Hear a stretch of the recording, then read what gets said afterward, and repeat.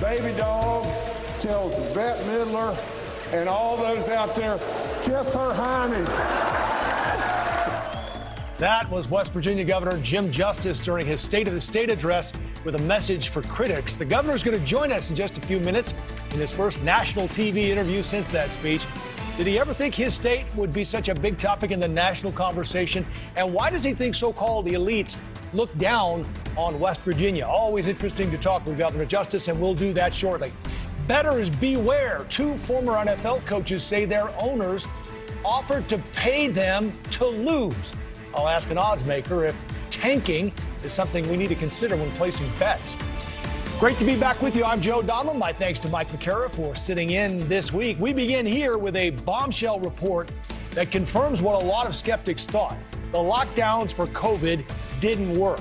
Researchers at Johns Hopkins University say the lockdowns had little or no impact on COVID deaths and maybe even made things worse. They say shutting down the country in the early stages of the pandemic back in 2020 prevented just 0.2% of deaths. The researchers writing, we find no evidence that lockdowns, school closures, and limiting gatherings have had a noticeable effect on COVID 19 mortality. In fact, they say limiting gatherings in outdoor public spaces actually increased COVID mortality because people then gathered inside instead. So think about that. The holidays and gatherings we missed or skipped, the birthday celebrations held over Zoom, or maybe driving by your relative's garage and waving. There's also the virtual learning and how it hurt the educational, social, and emotional development of our children, not to mention the economic impact. We lost tens of millions of jobs at the beginning of the pandemic as everyone hunkered down and closed businesses. Many of those jobs we still haven't recovered. Quoting the researchers again here lockdowns have contributed to reducing economic activity, raising unemployment, reducing schooling, causing political unrest, contributing to domestic violence and undermining liberal democracy. Bottom line, we did some back in the napkin math today of all the COVID deaths in America, and we are approaching 900,000 at this point in the country. The lockdown essentially saved 1,770 lives. Joining us now to talk more about this, Dr. Brett Giroir, the testing czar under President Trump. So, Doctor, I realize this is a novel coronavirus, and we're all sort of learning as we go here. But two plus years into this thing, have we learned now for sure the headline that lockdowns don't work? Well, thank you for having me on. And first of all, this was a very comprehensive study. And just to be clear, it wasn't a study in and of itself, but it was a very scientific, rigorous review yeah. of the entire literature, all the studies published worldwide since the beginning of the pandemic. It was done very systematically. And you're right. What they showed was that lockdowns didn't really matter much to COVID 19 mortality. But let me just nuance this a little bit. It wasn't that the behaviors that people did didn't solve problems or, or reduce mortality. It's when you tried to force it on people. So, what the study said is if you just give people the information, they will act appropriately and do the right things. But when you impose a government enforced lockdown, you not only didn't help, but in many cases you hurt. And that's exactly what we tried to do in the Trump administration is provide people the information and let people make their individual choices for their families. Yeah, that was something that I was trying to figure out the nuance in as well, doctor, and that is did it help stop the spread? Did it at least initially arrest the spread of the virus? So this study didn't really deal with this. It dealt with COVID-19 mortality right. over a period of time. So um, when we first uh, said 15 days to slow the spread, remember it wasn't a national mandate, it was recommendations on how to do it. And we do feel, and I think the study does support, that it may have delayed a lot of the hospitalizations and deaths in a short period of time. Mm-hmm. So it didn't stop them, but it stopped the hospitals from being overrun. But the message of this study, and again, this is a study of all studies, is, is clear that when you have a government imposed mandate, as opposed to giving people the options and the information, it has no effect. And let me just point out another subtlety. This showed that there was no real effect on COVID 19 mortality, but what it didn't look at is overall mortality. We know that when you lock down the country by mandate, cancer deaths, addiction deaths, mm. um, suicide deaths all go up. So you had no COVID 19 benefit, but you likely had a tremendous harm to the rest of the public health. And that study didn't even get into that. Right. Let's um, show you one part of this study, doctor, because there was an area, and I dug through this thing. It was pretty deep. You're right. The only area that seemed to have some effect from the lockdowns was the closing of non essential businesses and particularly bars, which does make sense because this is a place where a lot of people gather indoors. Yes. And, and if you remember under the Trump administration, and I'm not saying we did everything right, but the only thing we really suggested uh, closing or limiting the population of was indoor crowded bars and restaurants, and particularly bars. And this study does show that, and it was a pretty significant effect. Um, don't close schools. Don't impose uh, limits on gatherings. When you do that, people just gather in their apartments and you get twice the transmission. Don't close borders. Don't do all those silly things. But there was an effect uh, uh, in this study, particularly on bars. And we know that's a very special place. Look, I'm from New Orleans. I love a good bar as much as anyone, but you have to take it from inside, you know, crowded to outside during the peak of the pandemic. I think we're in a different situation right now, of sure. course. About Doctor, and I think you're on the same page with me on this. Critics are going to see this and say, well, see, I told you. They didn't know what they were talking about. The next thing you know, they're going to tell us we didn't need these vaccines. Yeah, I think we I think we really have to be careful again because the recommendations that people said, like try to stay out of public crowded places, particularly early in the pandemic when there was no vaccines, there was no countermeasures. Um, those activities did help save lives. The difference in this study is when the government tries to impose it and doesn't let the people and families make decisions for themselves, it's counterproductive. Hmm. Um, so I think that's a very important point. Um, and, and look, vaccines, they are not perfect, but we know that vaccines do prevent mortality. Um, natural immunity is very important and as is as good or better than two vaccine shots, but neither natural immunity or two vaccines are very good against Omicron. Um, it's always a good idea to get boosted to protect you from getting infected. All right, before we let you go, doctor, if there's a pandemic, let's say five years from now, a global pandemic, what's the first thing we should do? What have we learned here? We learned a lot, and I spent a lot of time thinking about that. Number one, um, there are a lot of things we could do to prevent a global pandemic, and that is uh, better international oversight and regulation on common ground of BSL 4 laboratories, like the one that probably was the origin of this pandemic. There is a lot we need to do in this country. Our surveillance system archaic. I think the CDC uh, has many great people, but the organization needs a complete overhaul. The CDC is no longer operational and no longer capable to lead the response. Mm. Finally, most importantly, uh, I do think we need to have an ongoing public private partnership. Uh, I think one of the best things that President Trump did and the Trump administration was engage the private sector. This was not a federal government solution.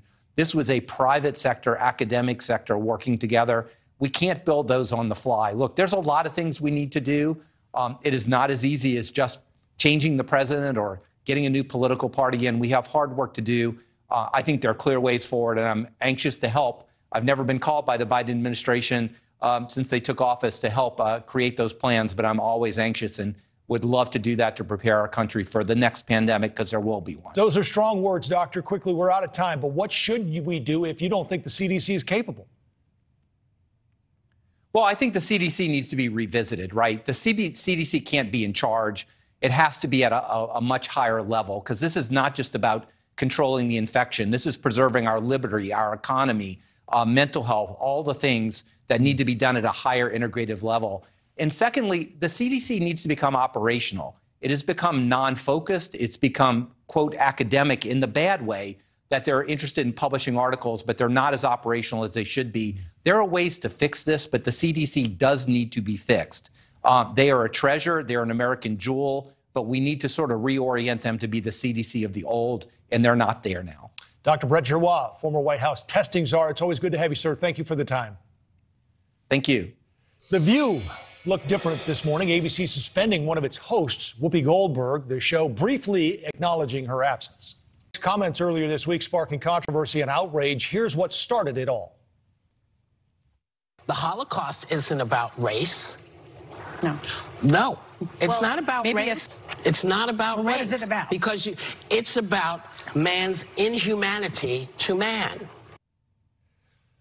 Democratic political strategist Crystal Knight and Patriot Academy founder Rick Green join us now. Crystal, let's start with you. Um, I guess with uh, with Whoopi threatening to quit now, she gets a couple of weeks off. We have had others comment that Roseanne Barr was fired for something she said on The View. What's the difference? Well, I think the difference is, you know, Whoopi right now, you know, is having to eat her words. This is something that she should not have stated. It was insensitive. Should she have been suspended for two weeks? Maybe, maybe not. I mean, we've also seen a, a, literal iteration of many crazy things that Meghan McCain has stated on that same platform, and she was not suspended. Um, she was actually amplified um, by the show. And so it really depends on which end of the aisle you're looking at. But I mean, she had the, the president of the Anti Defamation League on. She apologized in real mm-hmm. time. She acknowledged the error. Um, and so it just seems that, you know, The View wanted to take this drastic step, and they've done it. And so now she has to live with it. Two weeks, Rick, was that the right call? Well, I'm checking my temperature because I'm finding myself uh, agreeing with Crystal. Hey, how are y'all doing? I, look, we've all said stupid things, right? We've all been emotional and said things we probably shouldn't have said. We've all been ignorant and said things that we thought we were right on. You Turns do that on we my weren't. show every other week, Rick.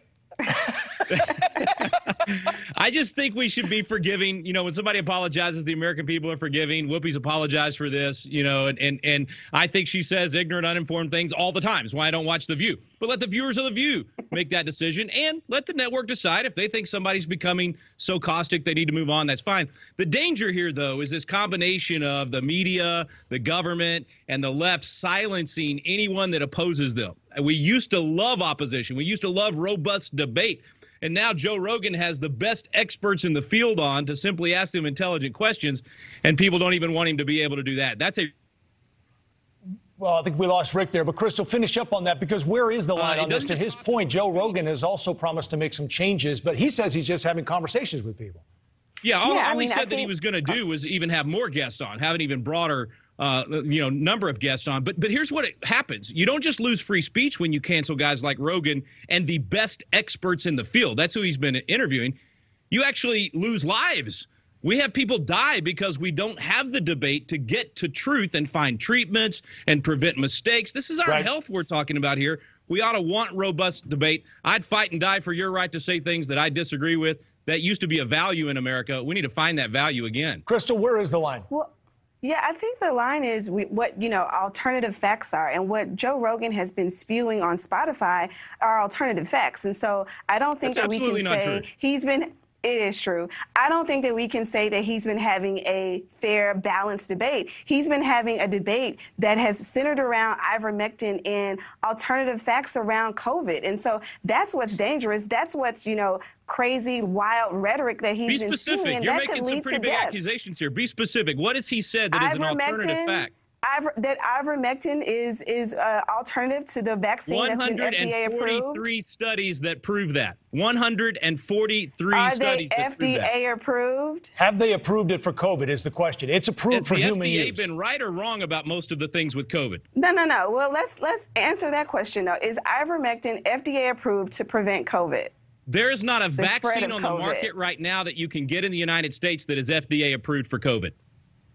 Well, so Pfizer. So what? What is what? It, what is Pfizer then? What is the Pfizer? It's not vaccine? approved. It's not approved yet. The one that you can go get is not is not because FDA it has emergency approved. use authorization. Absolutely right. Yeah. So right, let's, okay. let's make sure our words mean things.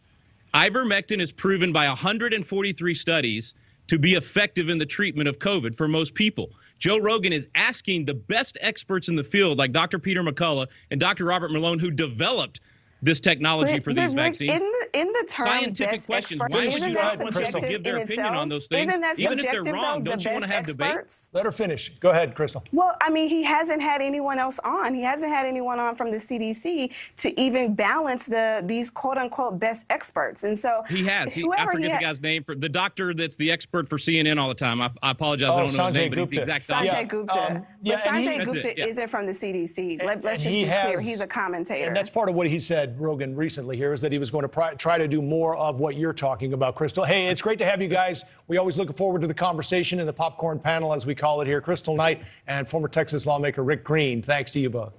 God bless you guys. Catch more on the Whoopi Goldberg story tonight on Dan Abrams Live. That's 8 Eastern, 7 Central. Baby Dog tells Bette Midler and all those out there, kiss her honey.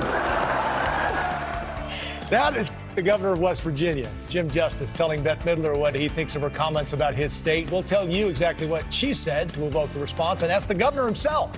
Why do the so called elites look down on West Virginia and maybe even middle America? The governor joins us next. And arrest in the overdose death of The Wire actor Michael K. Williams, how fentanyl was involved, and who the police have charged. Back after this.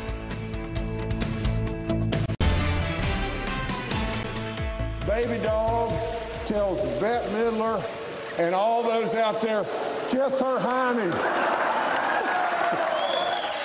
All right, again, West Virginia Governor Jim Justice telling actress and singer Bette Midler just what he thinks about her during last week's State of the State address. This all stemmed from a tweet back in December in which Midler criticized Senator Joe Manchin, saying in part, he wants us all to be just like the people in his state, poor, illiterate, and strung out a statement she later apologized for.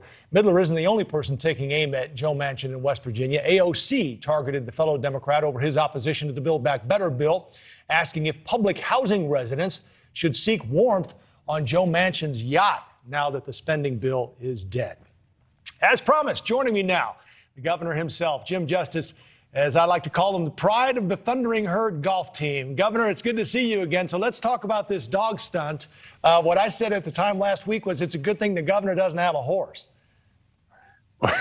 yeah, well, that's true too.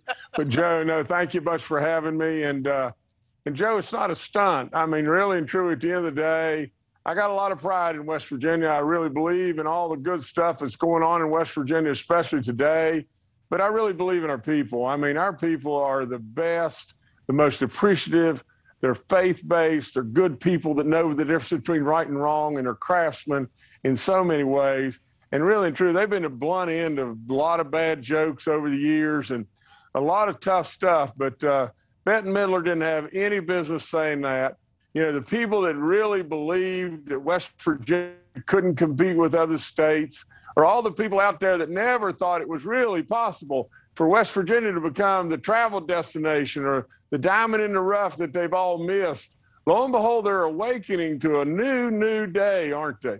And so, in all that, I'm going to stand up for West Virginia. And uh, I just thought the best way that I could do it is roll Baby Dog's butt right there to the camera and just tell people exactly what Baby Dog and I thought. so, uh, I mean, I know you well enough from our interviews to laugh and not be surprised that you did it. Critics, though, Governor, uh, say you're just proving their point. How do you answer them? Well, I mean, first of all, if they can't laugh a little bit, you know, then I feel sorry for them, tell you the truth. But honest to goodness, this this bulldog, a lot of people say, you know, what about her? Well, I mean, really and truly, at the end of the day, she makes everybody smile when you look at that face. Mm-hmm. And really, she loves everybody. And that's what we ought to be at doing. I mean, what, we ought not be at casting these rocks at people that you think that are just beat down and just going to take it. Well, I'm not beat down and I'm not going to take it. And, you know, if you cast a rock at West Virginia, you know, you better expect a cannonball back because it's coming from me. All right, Governor, uh, let's let's show you an article that I found, an opinion article in The Hill that said that West Virginia has the sixth highest child poverty rate in the nation. The Build Back Better bill would provide free universal pre-K, other policies that would help a lot of people in your state. You've been in both parties, Governor. If you were in the Senate, would you be a yes or no on Build Back Better? I'd be no. And the reason I'd be no is I'd be first and foremost for America. I mean, in all honesty, if you just step back and look at what's going on in, in DC and you think about Afghanistan and crime and inflation and all the different things at our borders and now Russia and, and you know, just everything in general.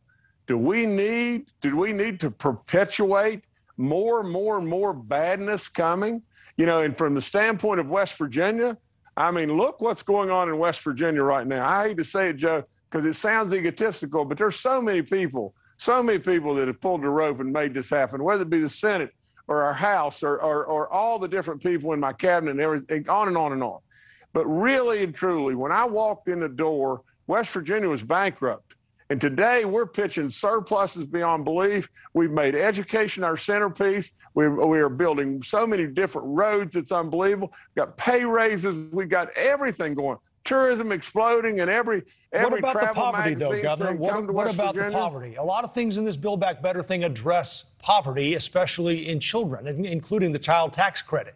Uh, is there any element of Build Back Better that you'd be for? Well, I'm sure there is. You know, I don't know all the all, all the particulars about Build Back Better. You know, but but you know, there's got to be stuff in it that naturally we'd all be for. But really and true, Joe, at the end of the day, we're going to take care of our people in West Virginia. I mean, we got this thing rolling, and we're going to take care of our people in West Virginia. We don't need the federal government to set on, you know, to put us on every porch just waiting on a check to come. Really, at the end of the day, West Virginians will take care of West Virginians, and we'll do it because we work. We get our hands dirty, and we really work, and we know how to work. So, uh, so we'll take care of West Virginia. We don't need the federal government gives, giving us a check. Senator Manchin represents your state, which former President Trump won by 40%. People may not realize that, but I would imagine you have some thoughts. Uh, and you gave us an idea at the end of your speech there. But what is it people on the outside don't understand about Senator Manchin or the state? Well, I mean, to be perfectly honest, Joe's a friend. You know, there's times we disagree naturally, you know, and and Joe is more of a politician than I'll ever be because he's been at it a long, long time. But in that, Joe has grounded West Virginia values, and he really knows how the how West Virginians feel and the way West Virginians speak. You know, Joe is echoing our voices, and that's what Joe should do. You know, and and I commend him in every way for his courage because I know the level of the pressures. At least I can just imagine. You know, so uh, so at the end of the day, I think really and truly what Joe Manchin is doing is echoing West Virginians' values, and that's what Joe Manchin should do as our senior sen- uh, senator. But Democrats would argue he's not echoing their concerns. Now say that one more time, Joe. I'm sorry. Democrats would argue, though, that he's not echoing the party's concerns. And Well, again, for what I- would I be, the, in their opinion, in the best the best interest of the country. To your point. No question. I mean, and, and Joe, let's be real. I mean, do the Democrats on the national level even have a party? It is the most bizarre thing you have ever seen in your life, and you know it, and I know it too. And and really and truly, we're just on a timetable to see the total meltdown and destruction of that party per se. I mean, it is the most bizarre thing in the world, Right. and it's a crime shame. Well, and, and I know I appreciate the fact that you've been on both sides. I mean, there it's the Democrats aren't a lone ranger on that. Well, I mean that's exactly right. But, but you know, from from my standpoint, in West Virginia, we have Democrats, but for the most part, they are conservative thinking, solid people. I mean, naturally, you have, and I and I hate to call them nut jobs, but you've got some ultra left, ultra left, and you probably got some ultra, ultra, ultra right. But really and truly, the significant majority of West Virginians are conservative, rock solid people. And West Virginia now, thank God, is solidly Republican. Well, it's solidly in the uh, national spotlight, the political spotlight, that's for sure. And Joe Manchin has uh, arguably become the most important Joe in Washington, D.C. Governor, it's always good to have you. Thank you for the time. We'll talk to you soon. All right, Joe, thank you so much. Thank you for all you do every day. All right, you bet. Take care. Quick note as we head to break here, you can follow us on social media at Joe Donlon TV. Another day, another sea of blue in New York. Officers coming out in full force to honor the second fallen NYPD officer shot in a domestic dispute. Funeral comes the day before President Biden goes to New York to talk crime. Is that too little too late? Should the president be talking more about the violence against police? City thanks you. From the bottom of my heart, I thank you. And every day that I walk the streets of New York, the people of this city reminds me, support our police and let them know we appreciate them. That was New York City Mayor Eric Adams speaking at the funeral of NYPD officer Wilbert Mora, who was shot and killed in the line of duty almost two weeks ago now, along with his partner, Officer Jason Rivera. More recently, two Virginia campus police officers, J.J. Jefferson and John Painter, were shot and killed during an active shooter situation at Bridgewater College just yesterday. According to the National Fraternal Order of Police, 30 officers were shot in the line of duty just last month alone. Four were killed. And then you had the Virginia shooting yesterday, which increases the total again to five, plus the college patrol officer. Amid this war on the police, President Biden set to meet with Mayor Eric Adams in New York tomorrow to talk crime, something he hasn't been particularly outspoken about until this event. Joining me now for more, syndicated columnist and News Nation senior contributor George Will. George, he does tweet about these things, I've noticed, but I wonder shouldn't he say something and be more out front? And I mean, it seems to me like it would have gone a long way had he gone to New York for at least one of these funerals. Well, there are limits to what a, the president can do about local crime, which is a local problem and a local issue. However, this is Mr. Biden's way of saying, I'm not that kind of Democrat. What kind? Two years ago, the Democrats did themselves tremendous injury and almost lost control of the House of Representatives with one of the most destructive slogans in American political history defund the police. Yep. This is one way for Mr. Biden to associate himself with world's largest, the nation's largest police force in New York City, and to say, as Bill Clinton did in his famous sister soldier moment, when he had a spat with a left wing entertainer who was saying irresponsible things, I'm not that kind of Democrat. And by the way, while he's in New York, he ought to have someone arrange to ask him a question. The question would be Mr. President, New York has decided that non citizens hate 100,000 non-citizens are going to be allowed to vote. Right. Do you agree with that? That would give him another occasion to say, I'm not that kind of Democrat. Yeah, well, that's, I mean, he has said he's opposed to defunding the police. But again, I think maybe his absence at that funeral says a lot more than his attendance would have meant to everyone there. It, it would have helped. And uh, the president is uh, not for the first time playing catch up. But let me remind you of something, Joe. In February 1968, the beginning of a presidential election year and a terrible year in American history, Martin Luther King assassinated in April, Robert Kennedy in June. Mm-hmm. February 1968, when America had a feeling somewhat like the feeling today that the social fabric is fraying, the Gallup polling organization asked Americans a question, and it was this Is there a place near you, say within a mile of your house, where you are afraid to walk at night alone? Only 19% of men said they were afraid, but 50% of American women said yes. Hmm. That meant as the political class immediately understood, that half of the men in America were married to women who were afraid of crime. Mm. This was a political issue in 1970. It became a political issue throughout the decade. It presaged a move of the country to the right, and of course, the decade ended with the election of Ronald Reagan. So, crime has been a big issue before, is today, and will be for the foreseeable future. You are the historian, George, so remind folks who weren't around perhaps or don't remember the last time we've had crime waves like this. What led to things turning around and what can we do now to turn this around? Well, one of the things that, that uh, leads to crime, frankly, is a large cohort of young men aged 16 to 24 because they commit a large portion of the crime. So there are demographic reasons. Uh, there are also, when you have a, a, new substance, a new illegal substance enters the re, enters the conversation, such as crack in the in the early 1980s. Right. So various things can contribute to this, but it always comes back as a political issue that the first thing, the first thing, that government is supposed to guarantee is order and safety. And crime represents, therefore, the primary, the fundamental government failure. Well, we mentioned getting tough on crime because that's been the response through many of these waves, but some would argue we got too tough on crime, which is part of how we got to kind of where we are right now. Well, there is a case for the fact that we're perhaps we're sending too many people to jail for too many things that should not be criminalized. We certainly have a very high incarceration rate in this country, mm-hmm. and that breeds to more crime because everyone who goes to prison almost all of them are coming back home to the neighborhoods from which they were taken to go to prison. And a lot of them don't come back from prison improved by the experience. Right. So we wanted to be, make sure with the, the kind of the multiplication of the criminalization of behavior in this country that we're not overdoing it and that we're incarcerating the right people for the right amount of time. So this, this is an ongoing argument, and it comes and goes in waves. We now are in the midst of a rising wave of discontent, mm-hmm.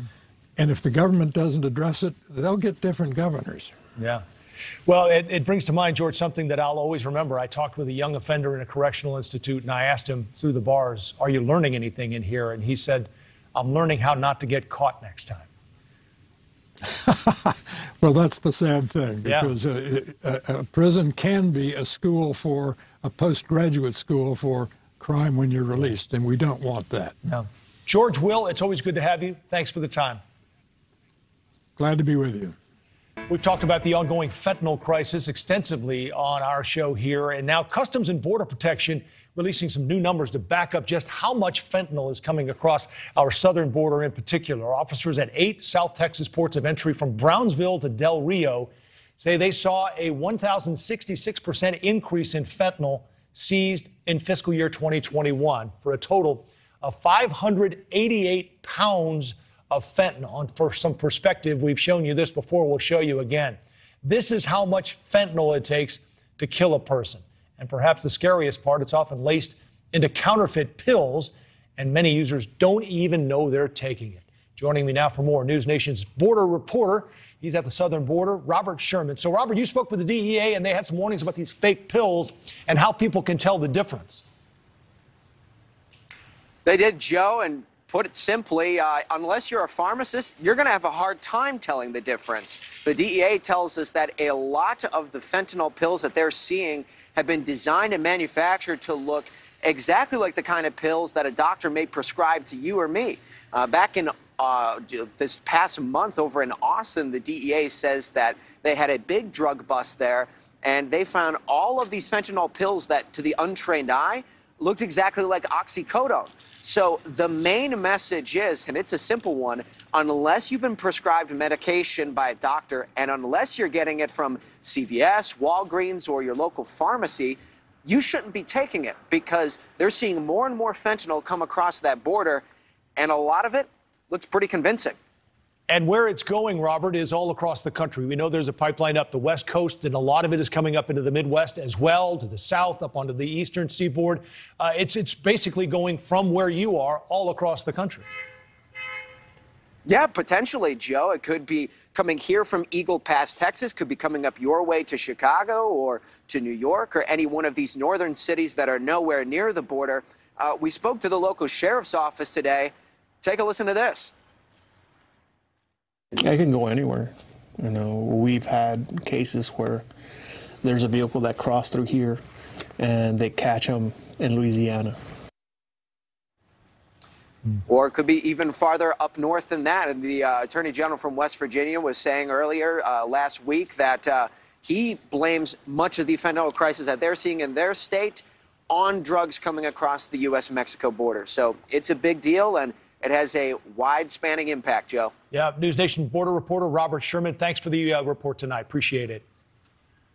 Another drug that dealers are lacing with fentanyl is heroin. And as of just a few hours ago, four people have now been arrested in New York accused of supplying the drugs to actor Michael K. Williams, who overdosed on fentanyl laced heroin in his apartment back in September. Police say they've been working for months to bring justice in this case. Williams, of course, made famous by his role in, among other things, The Wire.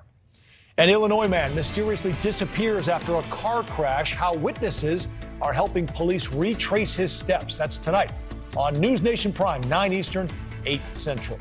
Now, two former NFL coaches say their former bosses offered them money to lose games intentionally. If that's true, what does it mean for all the bets being placed on games? Can we trust the outcome? The professional gambler who calls himself the Philly Godfather joins us next to tell us if this kind of thing is actually baked into the odds. Back after this. All right, tonight, more controversy in the NFL. One day after former Miami Dolphins head coach Brian Flores sued the NFL and his former team for racial discrimination, Flores also alleged that Miami Dolphins owner Stephen Ross offered him $100,000 to lose games, or as it's called, tank. Now, another former head coach, Hue Jackson, is saying that Cleveland Browns owner Jimmy Haslam offered him money to tank. That's according to a source in response to a tweet. That said, Browns owner Haslam wasn't offering Jackson $100,000 per loss. Jackson replied, Trust me, it was a good number. Joining me now is the owner of the sports website, the Philly Godfather, Steve Maltepis. Steve, it's great to see you. I, I saw this story today and thought, holy cow. I mean, uh, either that or you're not surprised. Which is it? I mean, if these allegations are true, it's going to send shockwaves throughout the NFL and the sports betting market. Uh, it's big, especially in this day and age that sports betting has become legal. This is a market like any other market, and any kind of insider trading that was involved. If anyone from those teams knew about this type of tanking and they were betting these games, there could be some serious uh, criminal investigation here. I mean, there's a there's a line history, so you can go back in time and see how these lines have moved. Right. And, if the, and if anyone was betting these games with knowledge of this information, there's some serious problems. I'm wondering how they would do that, Steve. I mean, a, a coach on his own, without the players knowing, maybe, or is he? Going to sit certain players? How does a coach do this without making it obvious? Well, we've seen it in the NBA before, and I think Mark Cuban went on the Dan Patrick show, and he talked about how they actually did it, and the NBA fined Mark Cuban for going on the show. I think it was around six hundred thousand dollars. And they said what they do is they don't tell the players to lose, but they start the younger players, the more inefficient players, and let they play, let them play longer, and that's how they tank in the NBA. Uh, but if you look at the 76ers, they've tanked for the last few years, and it hasn't worked out for them. So even right. if you tank, it doesn't mean you're going to end up winning, you know, winning football games. Well, let's ask you a little more about that in a minute. But I, am wondering about this tanking thing because you know as well as I do, Steve. There have been teams that everyone thought was going to lose, and then they won. It was the last game of the season, and had they lost, they'd have gotten the number one pick, but they won anyway. And I know the Eagles have been tied up in some of this as well. So I guess the question is, how do you how do you know? I mean, it's so difficult. And at first, when when Hue Jackson was talking about getting paid a hundred uh, or the, the initial reports came out that he was getting paid a hundred thousand a game to lose, it didn't make any sense to me because the Cleveland Browns were so bad before him, and then when he got fired with a three and thirty six and one record, uh, they were bad after him as with uh, Kitchens as coach. And why would you end up tying a game that you can you know lose and get another hundred thousand dollars in your pocket? So that didn't make any sense to me. It's going to be very very difficult to prove, uh, and then then what happens to Hue Jackson? I mean, if he did take this money, right. well, then he loses all his integrity and he should never coach an NFL team, a high hmm. school team, a Pee Wee football team ever again could, because he's been compromised. And what's to say a gambler doesn't go and give him money to, to throw right. a game? Look, Steve, the other question I have is what can the NFL do about this? I know it's been kicked around. Should they have a, a lottery? Should they maybe have like an end of year tournament where the bottom four or eight teams play? Or maybe you get points based on whether you win, you move up in the draft, or lose at the end, and you move down. Yeah, as a professional sports bettor, we're always looking for teams that, you know, a certain part of the season where we know they can't make the playoffs, and the best thing for them to do is tank. And we'll usually look to fade those teams depending on what the price on the game is. But the NFL has a, it's it's a tough situation for them. How do they fix this problem? Uh, how do they, uh, you know, make it go away? And it's, it's very difficult. I mean, once a team knows that they're not good enough to make the playoffs, they start they start their uh, more inefficient players. Right. It's just it's just a tough problem altogether. Yeah, I like the idea of this late season tournament with four or eight teams. You know, because they can play it during the playoffs. And we get more football. I mean, and then maybe there's a little bit something on the line, and whoever wins that uh, single elimination tournament uh, moves moves up in the draft to get the number one pick. Anyway, it's all conjecture. We'll guess, I guess, what happens, but this isn't going anywhere. Steve, it's great to see you. The Philly Godfather. Take care. Good luck. All right, it is now official. The U.S. debt topping $30 trillion. That's what it looks like for those counting at home. Those are 13 zeros. So, what does it mean for you and me? Well, each of us in the U.S. currently on the hook for $90,000. Every man, woman, and child living in the country. Not just the feds that will come calling for that money, though, it's the Chinese as well. Leland Vittert his show on balance starts at the top of the hour. So we owe them big time, essentially. Trillion dollars. One, thir- one thirtieth of the U.S. debt. Uh, you know, there's that old line that if you owe the bank a million dollars, the bank owns you. If you right. owe the bank a billion dollars, you own the bank. So if you owe the bank a trillion dollars, being the Chinese, mm-hmm. uh, it cuts both ways. What do you have on the show tonight?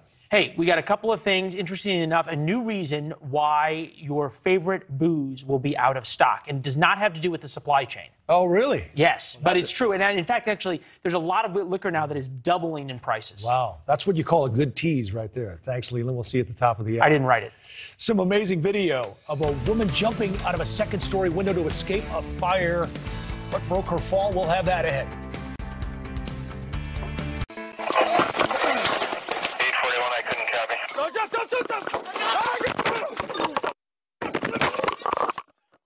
This video out. First responders arrive at a raging house fire to help trapped victims make a leap of faith. Body cam video captured deputies in Illinois responding to reports of two people trapped upstairs. The force of the woman's 20 foot fall knocked the deputy to the ground, but he did break that fall. Moments later, a second victim seen jumping from the flaming window as well as they helped her too. The victims said to be okay, largely thanks to those deputies who were there to catch him. Our American Snapshot now also involves police doing great things. Police from departments around the Pittsburgh area showed up to the Children's Hospital to deliver badges to a patient fighting cancer. Eight year old Joshua caught their attention after several social media posts circulated talking about his love for police patches. Special delivery also included notes of encouragement. That's our American Snapshot. In fact, our first, because we have another, and it's a show of support for a fallen police officer to honor another brother in blue murdered on the streets of New York. Thousands of officers lined Fifth Avenue to salute NYPD Detective Wilbert Mora one last time. That our second American snapshot for the night. A picture brought to us, by the way, courtesy of the Sparta, New Jersey Police Department and Brian Haslock, a detective there. That's our time. We appreciate you being with us on balance with Leland Vittert next. Thank you for watching. Click the red subscribe button below so you can get more of News Nation's fact driven, unbiased coverage.